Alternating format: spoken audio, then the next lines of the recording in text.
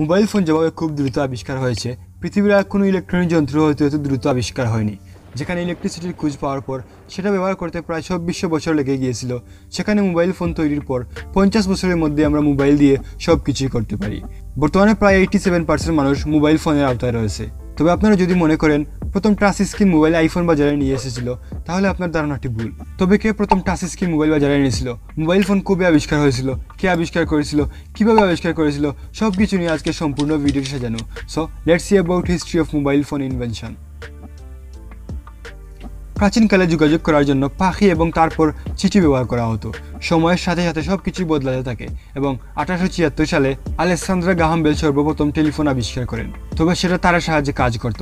তারপর মানুষ তার ছাড়া যোগাযোগ ব্যবস্থার প্রয়োজন অনুভব করে এবং আঠারোশো ছিয়ানব্বই সালে গুলিয়ে লিমু মার্কিনী রেডিও আবিষ্কার করেন। তবে সেটা ছিল ওয়ান ওয়ে যার সাহায্যে একসাথে দুইজন মানুষ কথা বলতে পারতো না।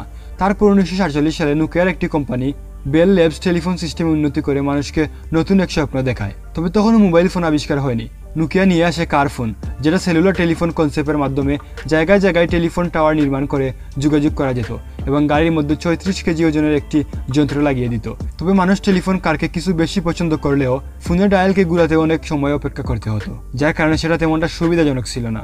তারপর উনিশশো তিয়াত্তর সালে নোকিয়ার সেই সেলুলার টেলিফোন কনসেপ্ট মাথায় রেখে মুটুলা কোম্পানির engineer Martin Cooper mobile phone আবিষ্কার করার উদ্দেশ্যে পৃথিবীর সামনে ডায়নাটেক এইট থাউজেন্ড এক্স কে পরিচয় করিয়ে দেন এবং তিন এপ্রিল উনিশশো তিয়াত্তর সালে মার্টিন কুপার পৃথিবীর প্রথম ওয়্যারলেস কল করেন। তবে সেটার মাধ্যমে উনিশশো তিয়াত্তর সালে প্রথম কল করলেও মানুষ সেটা ব্যবহার করতে পারে তার দশ বছর পর উনিশশো তিরাশি সালে, যখন বাজারে ডায়নাটেক আসে।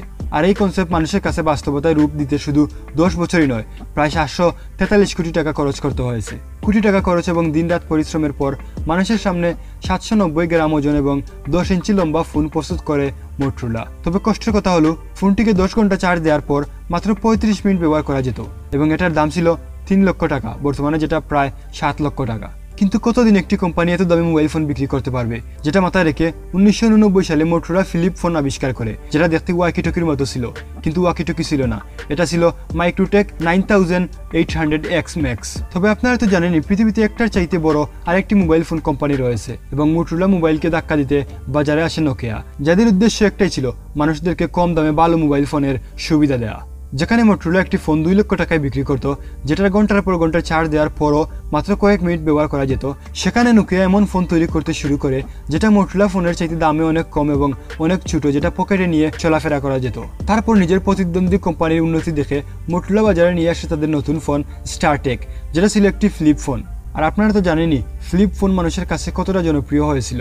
যার কারণে তো কোম্পানি ষাট মিলিয়ন হ্যান্ডসেট বিক্রি করতে পেরেছিল। উনিশশো আটানব্বই সালে সিমন্স এস টেন মোবাইল আবিষ্কার হয়, যেটা ছিল খালার ডিসপ্লের প্রথম ফোন দু এক থেকে দু হাজার তিন সালে মোবাইলগুলোতে ব্লুটুথ কন্ট্রাক্টস এবং ইমেইলের মতো ফিচার আসতে শুরু করে। তারপর আসে ক্যামেরা ফোন যেটা অবশ্য দু হাজার সালে জাপানে তৈরি হয়েছিল। এবং তার তিন বছর পর Sony company Z one thousand ten front camera phone নিয়ে আসে, যাতে মানুষ একজন আরেকজনের সাথে ভিডিও কল করতে পারে। কিন্তু এই সকল কোম্পানির পরিশ্রম মাটি হয়ে যায় তখন।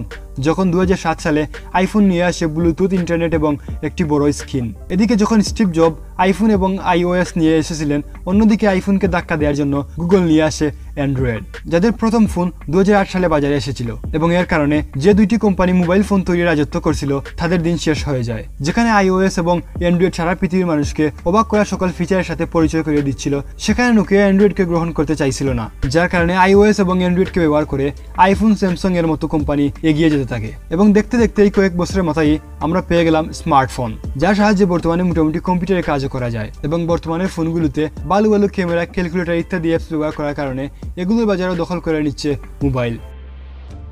বাংলাদেশে সর্বপ্রথম মোবাইল ফোন চালু হয় উনিশশো তিরানব্বই সালে এপ্রিল মাসে। হাচিসন বাংলাদেশ টেলিকম লিমিটেড সর্বপ্রথম ঢাকায় মোবাইল ফোন সেবা শুরু করে। উনিশশো সাল থেকে দু সাল পর্যন্ত পুরো পৃথিবীতে মোবাইল ফোন ব্যবহারকারীর সংখ্যা সাড়ে বারো মিলিয়ন থেকে ছয় বিলিয়নে দাঁড়িয়েছে, যেটা মোট জনসংখ্যার প্রায় সাতাশি শতাংশ। দু সালে হিসাব অনুযায়ী তেষট্টি শতাংশ লোকের নিজস্ব মোবাইল রয়েছে। মোবাইল ফোন ছাড়া আজ আমরা একদিনও চলতে পারি না। আর হ্যাঁ প্রথম টাচ স্ক্রিন মোবাইল আইফোন নয় আইবিএম সাইমন ছিল।